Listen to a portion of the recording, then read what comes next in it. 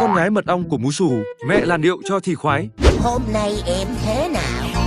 Em vui vì đối với em, em là đóa hoa đẹp nhất. Nhưng khóc hết nước mắt khi mặc đầm. Em rút ra một kinh nghiệm Từ nay về sau Em sẽ mang đầm cho con em mỗi ngày Tại vì chỉ cần mình không mang đầm cho nó Một khi mà con của mình mà nó quen với cái việc mà mang áo thun á Mang đầm cho nó khóc dễ sợ khóc luôn mấy chị nó không chịu Con gái của Mú Sù, Bi Bảo là một trong những cô bé nhận về nhiều sự quan tâm đặc biệt. Mỗi sự trưởng thành của cô bé đều được Bú Sù chia sẻ lên mạng xã hội như một kỷ niệm cho con gái. Nay cô bé đã bắt đầu được mẹ tập làm điệu cho, tóc đã dài hơn, mà con gái tóc dài sao có thể thiếu những chiếc kẹp tóc màu sắc. Mật ong cũng được mẹ sắm sửa cho đủ kiểu, nhưng đến cái công đoạn mặc váy thì sao lạ quá. Theo như Múi Sù chia sẻ thì hình như là bé mặc áo thun biết quen rồi hay sao mà khi mẹ cho mặc váy cho là em bé khóc la quá trời.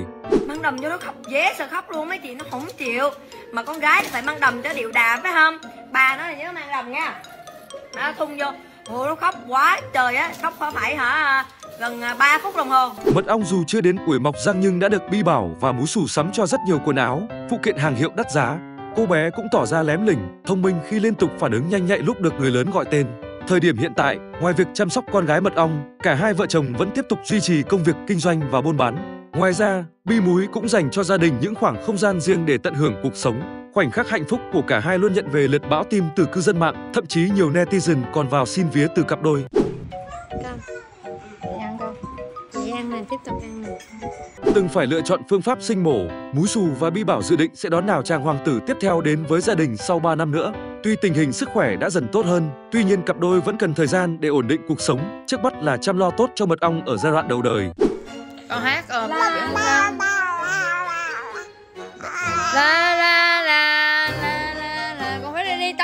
phải đi đi Có thể thấy, mật ong ngày càng bụ bẫm, đáng yêu. Em bé được mẹ chăm chút kỹ lưỡng, cho mặc bộ quần áo xinh xắn. Mật ong cũng có rất nhiều biểu cảm ngộ nghĩnh khiến ai nhìn thấy cũng suýt xoa chỉ muốn cưng nựng. thích đó hả con thích uh, chơi vậy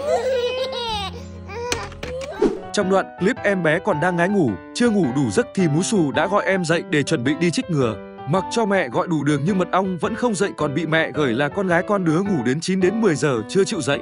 Theo như Múi Sù tiết lộ em bé trộm vía ăn ngoan ngủ ngoan nên mới 4 tháng hơn đã được 9 kg. Có nhiều ý kiến cho rằng nếu cho bé phát triển quá như thế sẽ là điều không tốt, nhưng Múi Sù cho biết không ép bé ăn ít hay ăn nhiều để cho bé phát triển.